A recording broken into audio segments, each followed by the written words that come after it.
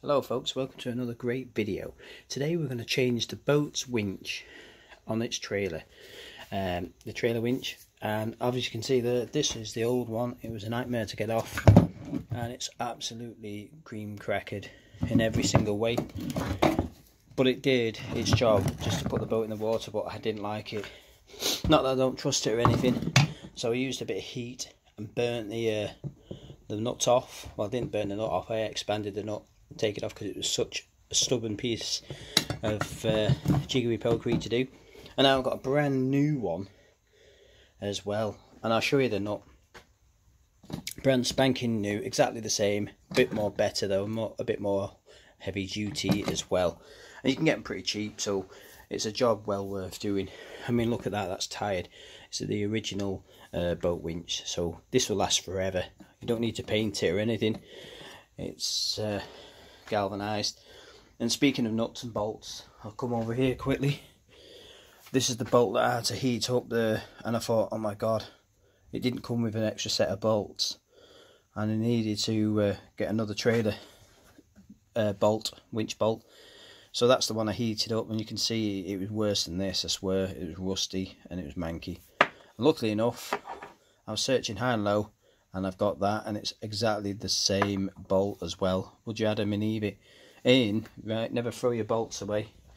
Keep them in jars. Obviously look you can see it's a bit like a pick and mix. I've been sorting it all out there like that. That's where the winch came in in that box there. Sorting them all out. So hold on we're going back over. So I always have nuts and bolts and screws and odds and bits everywhere.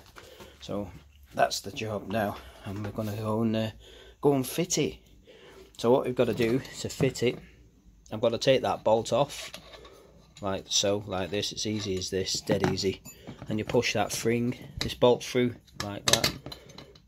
And then you just put the bolt back on to the fixing plate and the other bolt, and it's as easy as that. Really is that simple. But I'd better not lose this bolt, because if I lose this bolt, I'm going to be pretty scuppered.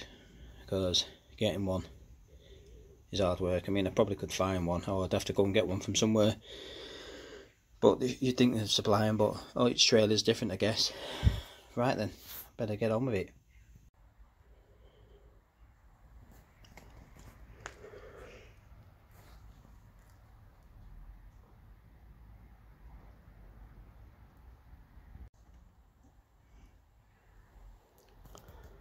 So there you go folks, easy, nice and done. Let's have a proper look. There you go. And the bolts are in place. If you can see under there. There you are. Make sure that they're really tight. Don't tighten that one too much. Tighten that one a lot. There you are. All the tools you need. Why not try it yourself? And don't forget, if the bolts are giving you a earache, heat them up. Thanks for watching.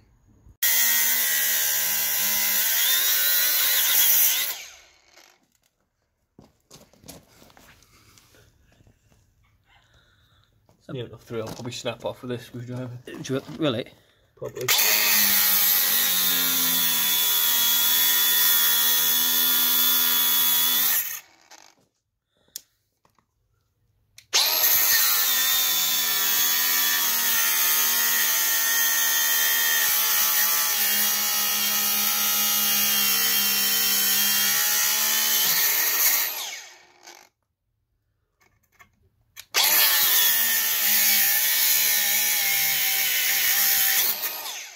on, off. So there you go, there's a new roller fitted, bolted on. That's galvanised, shouldn't rust for a long time. Works perfectly. I'm just going to put some grease on that for it to spin round. Uh, and uh, at the same time, let's get over here. I've even replaced the jockey wheel. Look at that. Why not?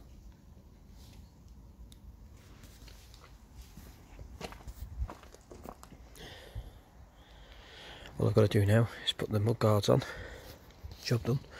Grease everything up. And that's it.